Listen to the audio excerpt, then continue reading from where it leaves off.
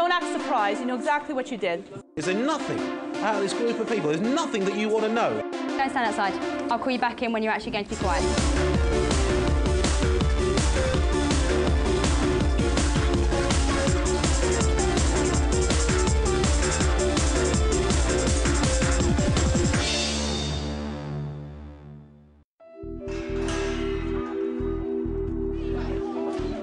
Monday today and the start of a fascinating week here at Kings Langley Secondary School in Hertfordshire. All this week we're conducting an ambitious experiment using cutting-edge science. Leading psychologists, physiologists, neurologists and educationalists will be monitoring stress levels in the school. They'll be trialling a new intelligent vest that gives instant readings of teachers' heart and respiration rates. We'll also be measuring their levels of cortisol, the fight or flight hormone. Never before with an ordinary section of the population have scientists tried to establish if your DNA can make you stress prone, but our team will be attempting just that. And we'll also be monitoring our teachers' blood pressure every 15 minutes throughout the school day, so our experts can pinpoint extra stressful moments. Our specially built hide will allow our scientists and other experts to observe the teachers and look inside their classrooms.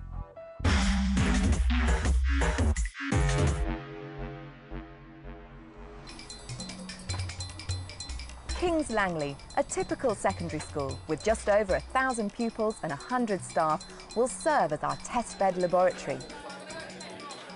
For a school that had previously been in an Ofsted category of underachieving, the last Ofsted inspection for us was utterly crucial. And the level of stress as it rose during that week was frankly enormous.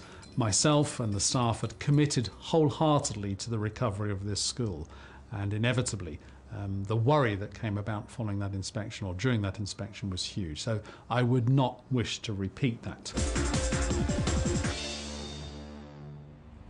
While the entire school will be involved, some of the teachers have agreed to be more closely monitored and observed by our team of scientists and experts from across Europe in this groundbreaking experiment. The research team includes Chris Gibbons, a psychologist with a background in stress research, and physiologist and neurologist Professor Gavin Reynolds, both from Queen's University Belfast. Rita Paradiso from Pisa in North Italy, Nadia Wager, a psychologist from Buckinghamshire Chilterns University College, and former physics teacher Alom Shah, who's been involved with this idea from the start. Alom is actually with me now in this van, which we've had specially converted so that the experts and I can closely observe the teachers and watch them in their own classrooms. Alom, this week sounds like it's going to be very exciting. What treats are coming up? Well, we've got a whole range of scientific tests looking at the psychological and physiological results of stress. So by the end of the week, we'll have a really detailed picture of stress in the classroom. It's now 9am on Monday morning, start of a normal school day, but also of an extraordinary week. Lessons are just beginning, and we're joining Karen Bird's English class with Year 11, who are tackling some exam preparation. Let's take a look at what's going on. Can I read? no, it's not. It's actually not. I just wrote something instead. All I said was I ran back into the ice. Not I meant to put house. Right. Because I was thinking of a metaphor. Bless you. Didn't kind of work out. Whereas I planned it to. Right.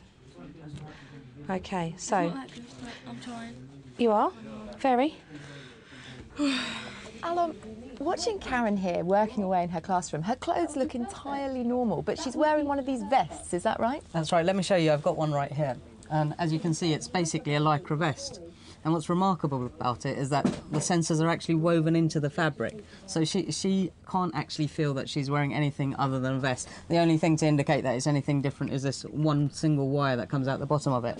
And what information do we get from the vest? For us today, it's collecting an ECG trace, that's her heart rate, and also measuring her respiration, how deep she's breathing and how often she's breathing. And all that information is being beamed from Karen's hip pack back to a computer. That's right. In real time, we can see right now what her heart rate is and her respiration rate as well. Fantastic. Looking good, Steph. Well, hey. Come on, get some more down. Two lines isn't enough.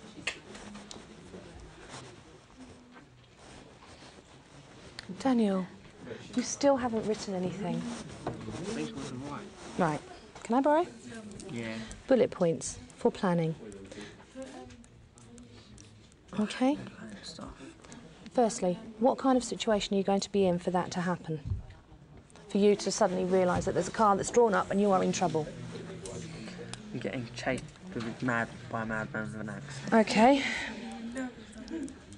Chased by mad axe man. Well, before we have another look at what's happening over with Karen, let's see how she sees herself. I'm Karen Bird. I'm a teacher at King's Langley School. I teach English and history. Sometimes I teach drama and ICT. Karen uh, has come up the hard way in teaching, really. She was a learning support assistant at the school before I arrived. Uh, was desperate to become a teacher. She felt it was the career for her and worked very, very hard indeed. Came on board and trained at this school as a graduate teacher on the graduate teacher program. Did wonderfully well. I don't think I am prone to stress. I'm fairly laid back. Obviously, there are days when it's quite stressful, but no, I don't think I am particularly stressed most of the time. She's got a um, superb affinity with youngsters who struggle, and particularly those that have literacy difficulties and so on. Don't know. Well, I'm now joined by Dr. Mark Hamer, a psychophysiologist from University College London, and also Professor Terry Looker from Manchester Metropolitan University. Welcome to you both. Now, Mark, what is the significance of the data that we're getting from the vest? What is it actually telling us about Karen? Firstly, we've got heart rate. It's a very powerful stress indicator. It's the first thing that really, really reacts. Um, we've also got respiration rate. Um, when we get stressed, we need uh, more oxygen uh, to supply the muscles. And so that's, again, that's a very powerful stress indicator. Paragraph. But that's a really good start. Good girl. Well done. So if you mark in where the paragraph should be. Right, James. Yeah, Done. done. Cool. Have you checked through it? Terry, what do you think about the information we can get from the vest? We need to look at this over a longer, longer period. So during the course of the day and the week, then maybe we'll see some changes. And it's those changes we can look at, um, changes in the heart rate and the blood pressure. And maybe then by looking at what the teachers are doing, how they're feeling, um, what their type of personality is, maybe all that will add up to something that we can make some conclusions from. And paragraph changes. If you think that maybe the person, Lana, do you know what you're doing? Please listen. Well, you weren't because you were talking. Lana. Lana. Okay, so you need. Are you seeing a link between what Karen's doing and, and the readouts at all, Terry? Maybe when somebody like just a moment ago said, you know, was, was talking and she's challenged them to stop talking, maybe we see a little bit of a change then. Uh, that's the sort of thing we'd be looking for. So you're checking it. I only got to there and he jacked it off Okay. me. Illuminated. What's fantastic about having the readings as well as the video is that on the video she always seems calm and in control, right? But what's very clear is with certain students, her biometric readings are changing. So clearly her feelings are changing, but she's very good at maintaining an exterior of calm and coolness. Not much there, has to be said. How much are we meant to do? What's About two pages. Two pages. Um, I sorry. mean, oh dear. How are we doing, Tom? Fine.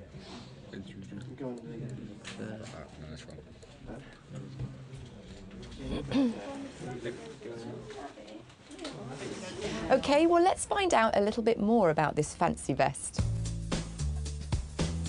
On the outskirts of Pisa in Italy is the Smartex lab. Smartex are at the cutting edge of textile innovation and have been working on the development of an intelligent vest that could revolutionise health monitoring. This is a system that uh, is uh, completely similar to a shirt, so the, the user will not see any difference from a standard shirt. The electrodes are woven into the fabric of the vest. The whole t-shirt includes nine textile electrodes. The four electrodes placed on the thorax allow to monitor the respiratory activity. The vest uh, is able to get information about uh, the ECG and to get information about the heart rate. And uh, when you are stressed, this kind of parameter change, increase. The instantaneous readings can be monitored continuously because the vest sends data via Bluetooth straight into a computer.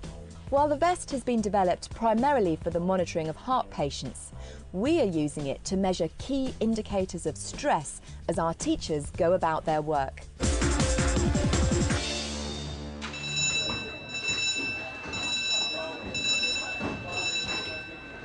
It's now 10 a.m. and Karen's second lesson of the day has just started. This time it's year seven and a debate all about vegetarianism. They're living creatures. Hmm. So we've got some. We've got a little bit of a disagreement going on there. Either we're worried about um, hurting living creatures, or fish aren't living creatures. Hmm. Charlotte. Although animals are treated cruelly, we need protein to stay healthy. Okay, it's a good point. I think we've made that point. I'm joined in the observation van by Richard Fawcett. Richard is a former head teacher who now works in schools supporting school leadership. Richard, what do you make of our experiment? Having awareness of how the body is responding to the situation you find yourself in must be very important in terms of then dealing with the problem. So anything that can be done to help people be more aware of something which is very important in the teaching profession. That is stress not just of the individual lesson, but of carrying out the whole job in its entirety, is, I think, both important and very valuable. Now, what do you make of Karen's teaching style here? Is she showing any signs of stress to you? How do you think she's doing? Well, Karen is clearly an extremely well prepared teacher. She knows where she's going with this lesson, and she also has a very easy relationship with the class. We're able to see her deal very effectively and quickly with any minor matters. You know, she has just said, shh, and everybody is quiet again.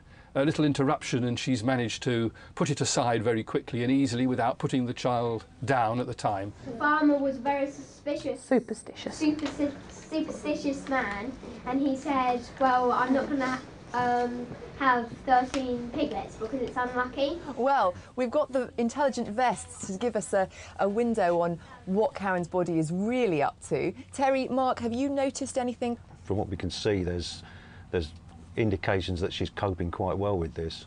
Uh, not the stress response isn't too active. So it isn't all a front. She's actually her calm exterior. Yeah. She's actually She's quite she's comfortable. doing okay. Yeah. Yeah, I mean she's smiling there. Uh-huh. She seems to be actually enjoying this class.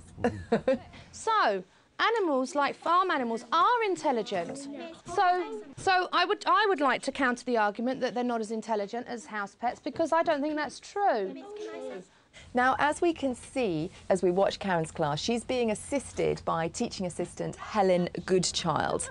Now, Helen is also wearing an intelligent vest, the second one to be used outside the laboratory. Now, Richard, first of all, tell us how important is the relationship between teacher and teaching assistants in terms of keeping stress in the classroom under control? Well, it's of fundamental importance. What you see in this classroom is clearly two people who are a team. It is important that the two people working in the classroom, or sometimes more than two people, understand each other, know where the lesson is going, know what the role is going to be of each other, and are happy to respond because what is always planned is not necessarily what always takes place.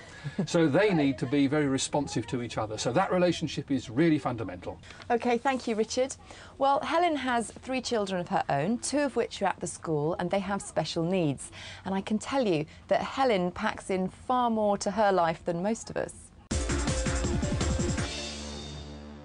uh, Helen Goodchild. I'm a teaching assistant who works mainly in the English department, and I'm in my fourth year here now.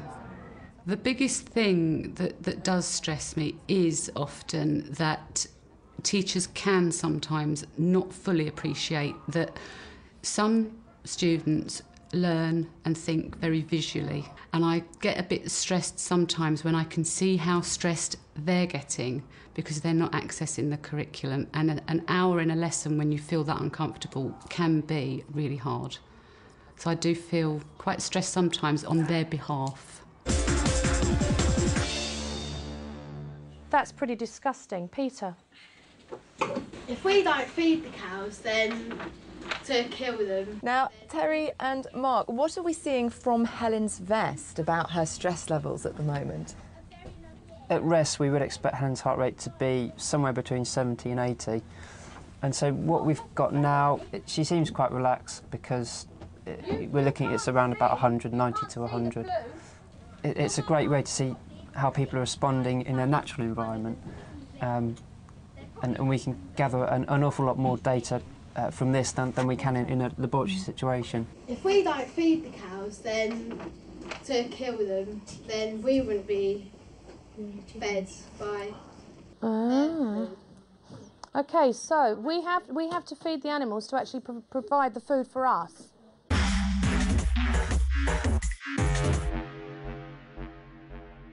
Now, those vests can tell us about the stress levels of the wearers at any one moment, but we're also keen to find out stress levels across the whole school.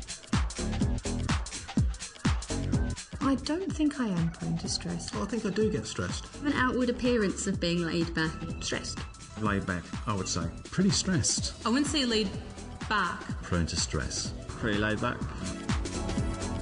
Chris Gibbons of Queen's University Belfast is the scientist in charge of this part of the experiment.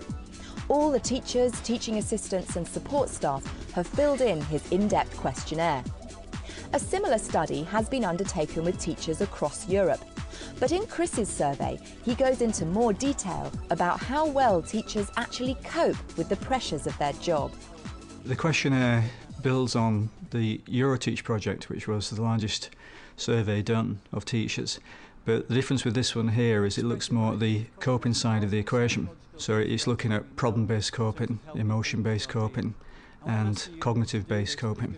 Good problem based coping strategy will be better time management. Uh, a poor problem based coping strategy would be perhaps losing one's temper with a pupil and not feeling in control at the time. Well, Chris Gibbons in the film there is actually going to be with us tomorrow to tell us more about these questionnaires and the coping strategies. But Alom, I was just wondering what you make of these questionnaires and how significant they're going to be. I think the questionnaires are really at the heart of our little experiment because uh, the questionnaires will tell us what teachers themselves think of their own levels of stress. And the whole uh, point of the questionnaire or, or the assumption behind it is that if you think you're stressed or feel you're stressed, then you are.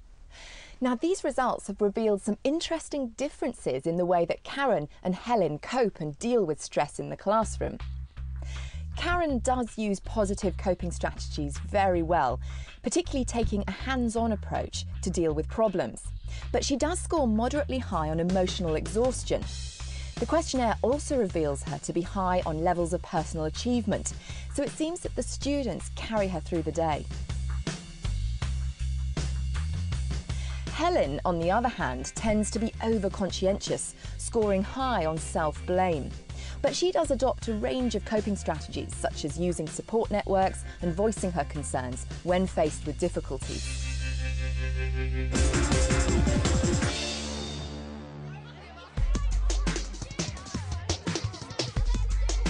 Well, it's break time, and Karen and Helen have had a relatively stress free start to their day. But for others in the school, things aren't going quite so smoothly. We're going to catch up now with head teacher Gary Lewis as he meets up with the finance manager Tom Horton to chase up some figures for the school budget. Resources committee next week. Yes. Um, I want to try and have the first draft of the budget sort of penciled out by then. I know that you and I had said. Oh, it's ridiculous. I thought you and I had said that we might be able to do that. And you need by when? When Well, do you need that by? are you on at the moment? What's well? I'm, I'm looking at the, uh, the the month-end stuff that I've got to prepare, plus the sixth form funding we've had in, which you sent to us, which I'm under query with the LSC, and I'm waiting for an answer back from them. All right, well, I'll leave So- it in your capable hands. Thank you. And I'll give you a Bit- chat a bit bit later to do. on. Okay. yes, okay, Tom. Thanks See so you much. later. Yeah, cheers. Bye. See ya. Now, Richard, you are an ex head teacher, so you know all about what it's like to work with a finance manager. Do you think they have a stressful job? I do. The expectations on them are really high. They have to plan the budget, monitor the budget and account for it, and things don't always work out the way you had hoped. So they have uh, a lot of demands upon them. Well, let's have a look at Tom's experience. The uh, IT company we have our IT uh, supplied by went into liquidation yesterday, uh, which is obviously going to cause us quite a few problems of uh, maintenance of our computers. So that on top of everything else that's been going on was uh, a particular low for myself and my department. He remains calm, although sometimes I think he's not quite so calm. He gets very nervous around me. We're a good foil. He's a classic accountant. I'm slightly more cavalier as far as money is concerned, and I know uh, if you speak to him, I'm quite sure that's where his source of stress will be as to what what the head is spending money on next. Now, we do have some sympathy for Tom, so it seems only fair that we offer him some greatly needed TLC. Finding ways to relieve stress is the other part of the equation this week. So we've brought in masseur Simon Thornton to help. Well, I don't know about you, but I'm feeling pretty relaxed just watching Tom have his massage there. Mark, does massage relieve stress? In theory, definitely. It, it can it can re- reduce tension in the muscle. Um, it can improve blood flow and circulation in general, which obviously has implications for uh, blood pressure. The fact this is still in his place of work is possibly going to limit how effective it really is. on the relaxing bit. We can't have That you. was relaxing, was it? Okay, well, our teaching assistant Helen now has got a free period. And unlike Tom, she's had a relatively easy morning so far. So we've decided to see how she responds to a potentially more stressful situation. She's still wearing her intelligent vest and she's about to undergo a difficult task set by our expert Mark. Okay, Karen, what I'm going to ask you to do is trace around the mirror image of the star uh, as quickly but as accurate as you, as you can. Uh, you've got five minutes to do this, so good luck, okay?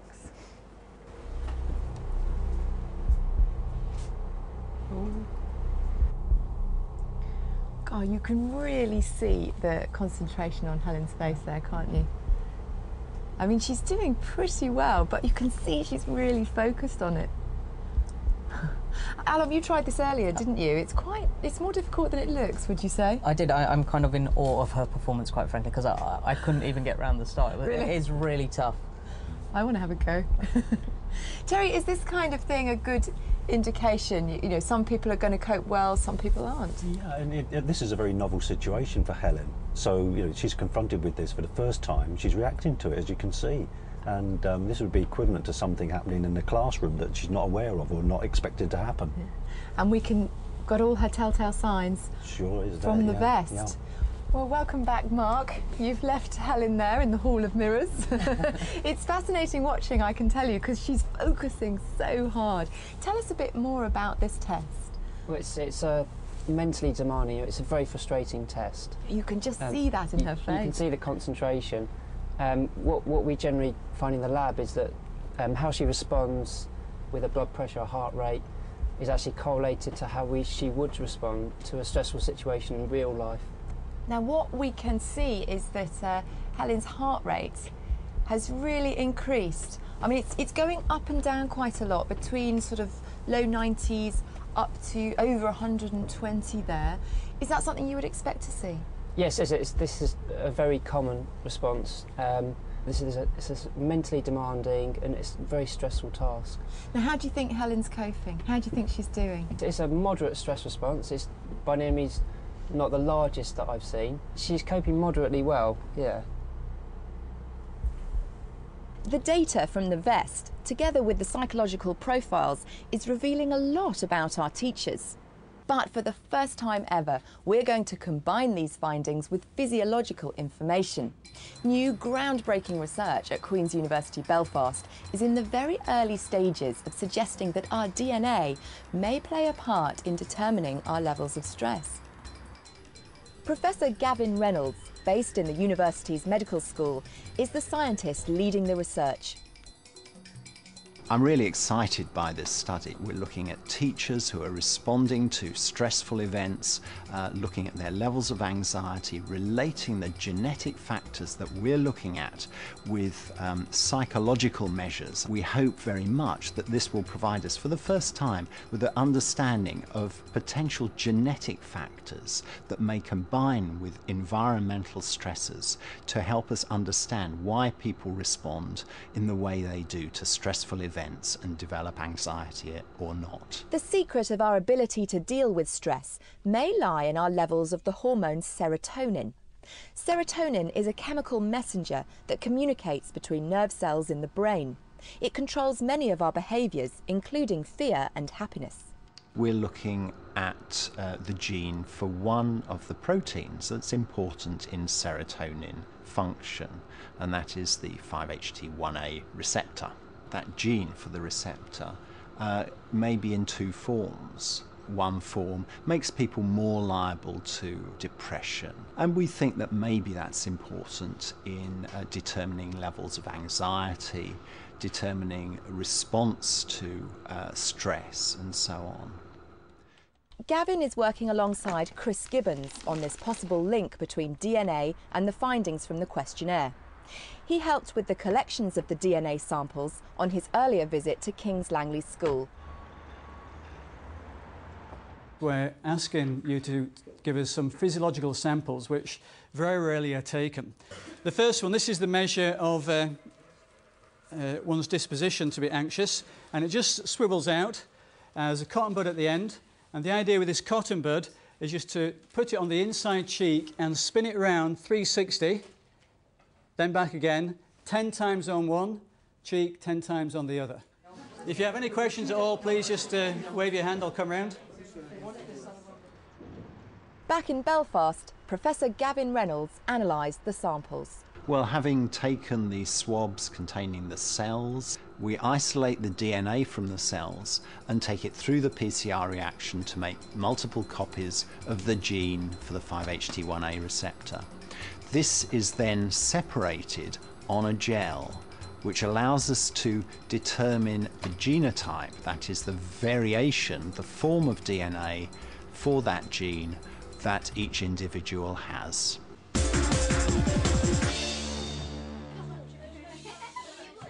Well, I have to say, Alom, combining the psychological with the physiological information sounds really exciting, and that your DNA might actually reveal how stressed a person you are is fascinating. Yeah, the scientists are really excited to be helping us with our study because they've already shown in other studies that this particular marker is associated with anxiety and depression. And what they're hoping is if they can show the same link with with stressed out teachers, well, sorry, maybe I shouldn't call them stressed out, but with teachers who experience stress, that it will help them with their research and, and give us a whole new marker for, for stress. Thank you for a lovely lesson.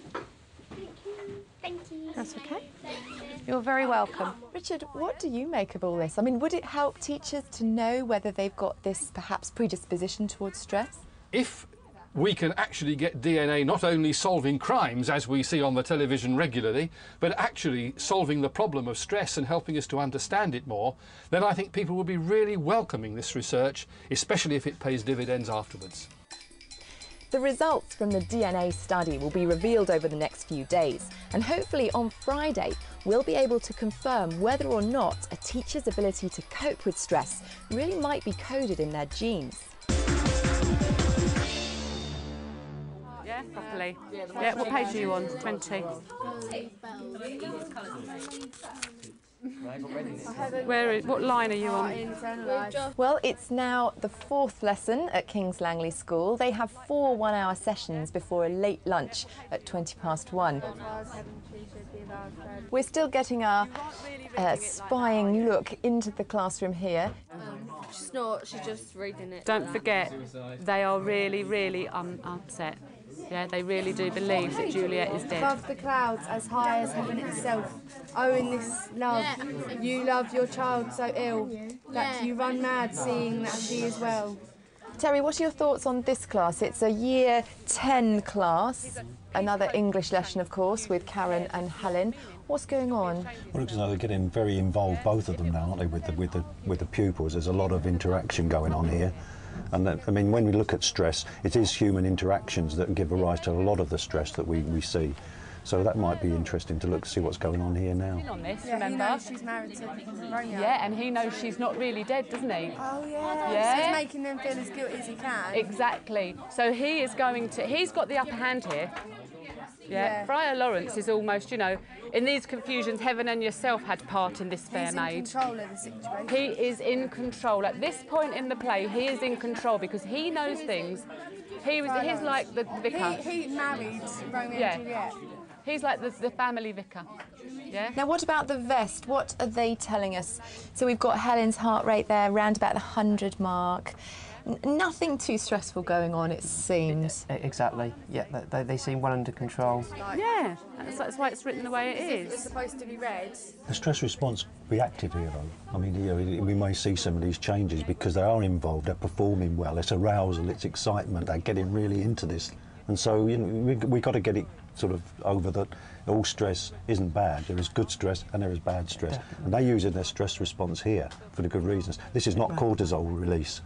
this is this is good old noradrenaline, adrenaline giving them that It's the, performance. it's the excitement and the achievement, isn't it, that's going on Yeah. there, and the pleasure of actually seeing a class working well uh-huh. together in something that you have prepared and set off and are then contributing to rather than actually taking a lead. Because the interesting thing there is that both Karen and Helen are contributing to discussions and perhaps shaping them, but not taking a very forceful lead over them by the look of things, anyhow. So, but no, I took him to Hatfield House to see Romeo and Juliet open air, and it was really, really good. A very happy class, I'd say. I, I think so, and, and one, Well- one in which um, I dare say they'll manage to get to lunch without too many difficulties. Well, you mentioned lunch, Richard. I don't know about you, but I think that's a very good idea.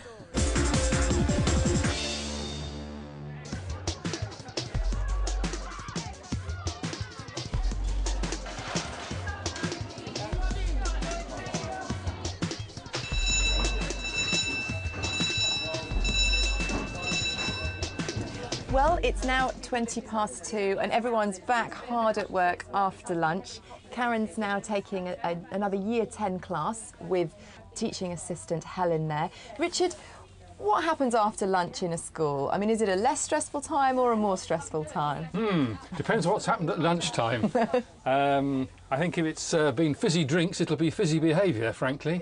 Uh, but you hope that people have had the chance to relax a bit.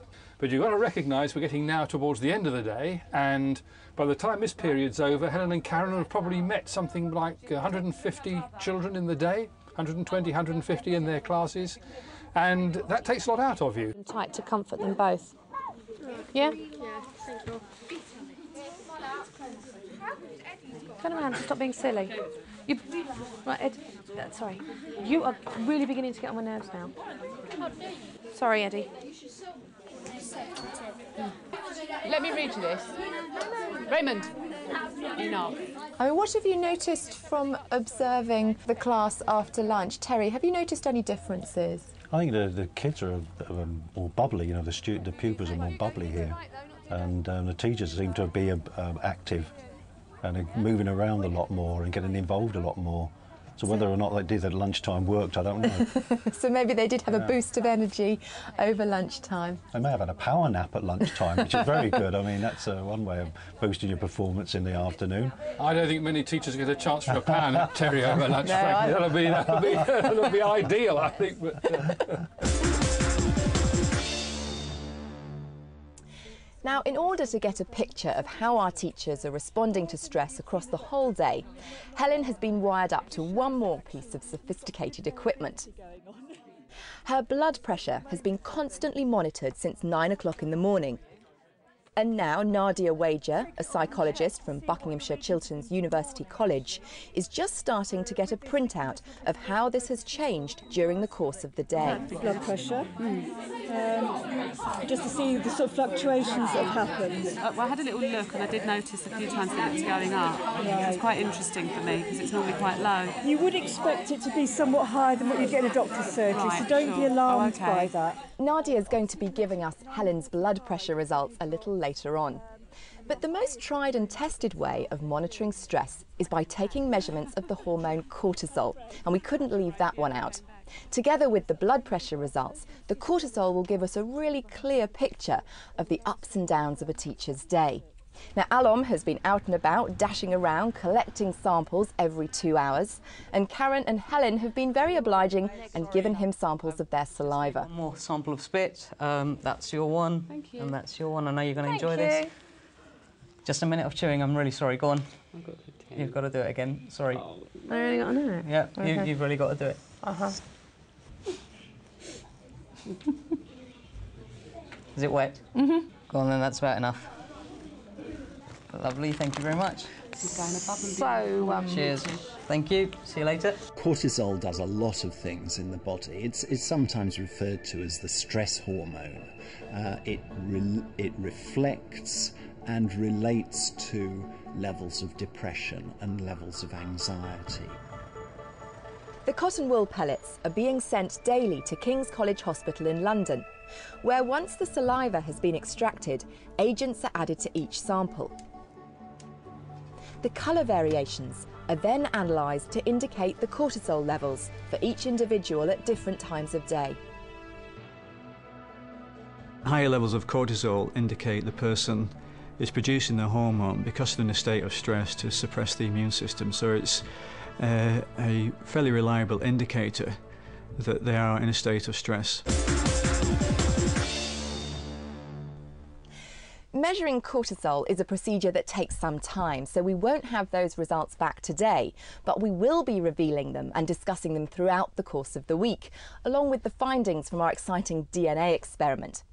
But we are beginning to get Helen's blood pressure results for today. Terry, can you tell us a little bit about why blood pressure is an important indicator of stress? Well, in the stress response, the heart rate goes up and the heart pumps out blood harder. So um, you're pushing out uh, pressure into the rest of the body. Whereas Yeah, Lady no, Capulet, goes- well, I can't- yeah. absolutely right. Nadia, welcome to the observation van. We've just been seeing you on the screens there, setting up your experiment with Helen. Can you explain to us what you were doing? Yes, well, actually, this morning when Helen first came in, we actually put on an ambulatory blood pressure monitor, which is a cuff like you'd normally have put on at the doctor's surgery. But it's got microphones built into it, so you don't need to use a stethoscope. And we have a little battery power pack on her side, which is what I was just fiddling with, which actually records automatically for her. So it's, at the moment, it's taking her blood pressure every 15 minutes. So will she feel the cuff expand like you do in the doctor's yeah, surgery? She gets all that sensation. I have checked and it's not hurting her, which is really good. right, yeah, sometimes it can be really tight.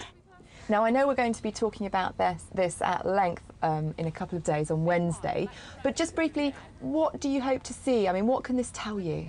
Well, it's looking at, at the fluctuations throughout the day, and really what you're hoping is, is during her rest periods, her blood pressure's managing to drop down again. It doesn't matter how high your blood pressure really goes, providing it comes back down quite, quite quickly. It's, it's so easy. It's so easy to follow. Prolonged high blood pressure is unhealthy. And Helen's blood pressure readings do show a clear trend of actually rising during the course of the day, whilst the particular highs and lows are a direct response to events and situations.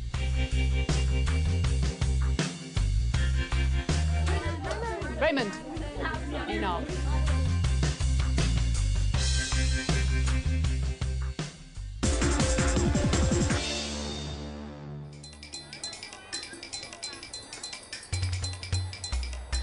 Well, that's nearly it for today. Uh, I have to say, we've just had so much information. Richard, your thoughts? Well, I think it's been a fascinating day to um, look at stress in so many different ways. And I think the proof of the pudding will be in what this all turns up and what we're able to do with the information, which will benefit the teachers. It's been very good. Terry, have you enjoyed today? I have. It's been an interesting experience today because we're looking at many different ways we mm. can look at stress. There's questionnaires, we've got the cortisol, we've got looking at what you can do about stress with massage. There's lots of do. We've been be, we've been observing the behaviour. Yeah, yes, it's been a fascinating day. And so much more coming up. Well, thank you all very much for a great day. Well, it's 4 pm and the caretaker is just beginning to lock up. What we've seen today, just on day one, has been a remarkable series of firsts. We've seen the first time the intelligent vest was worn outside the lab. We saw for the first time how teachers are having their DNA tested to see how prone they are to stress. I mean, Alom, today's been a great day. What were the highlights for you? Well, collecting all that spit from Karen and Helen, which uh, was fun. Oh, the Um, cortisol, yeah. yes, that's something to look forward to. Uh, but really, I'm looking forward to tomorrow when Chris Gibbons is going to join us and he's, he's going to talk us through the questionnaire and reveal some of the findings. So I'm really excited about that.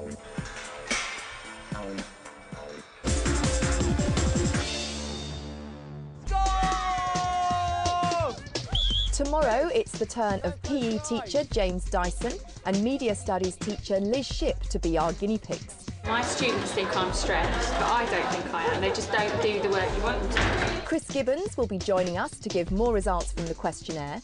And we'll be getting the first results back from our DNA testing and the teachers' psychological profiles. Psychologist Susan Blackmore will be joining the discussion. I just want more. Brendan, you can't do it in your socks. What do you think, dipstick? Just doing my shoelace. You haven't got a shoelace. Go on, back over. And Nadia Wager returns to continue her week-long investigation into the blood pressure readings of our teachers.